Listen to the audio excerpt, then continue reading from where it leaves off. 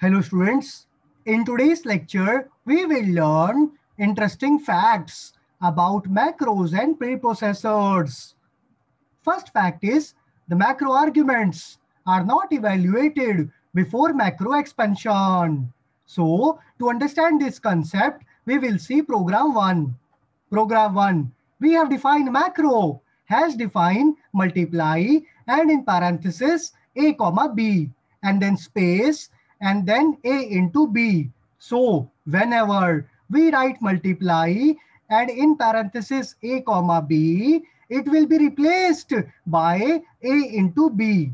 In the main function, printf statement print multiply and in parenthesis 2 plus 3 comma 3 plus 5. So macro is expanded as 2 plus 3 into 3 plus 5 which is 16 and our program ends here. But multiplication result is not accurate because we have not used parenthesis in expansion. Here is output 16. Program 2. We have defined macro has defined multiply and in parenthesis a comma b and then space and then parenthesis a into parenthesis b.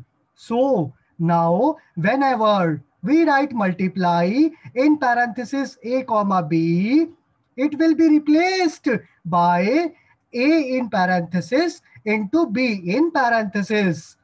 In the main function, printf statement print multiply and in parenthesis 2 plus 3 comma 3 plus 5. So macro is expanded as 2 plus 3 in parenthesis multiply by 3 plus 5 in parenthesis. So 5 into 8 is 40 and our program ends here. Here is the output 40. So we end our lecture today. Thank you.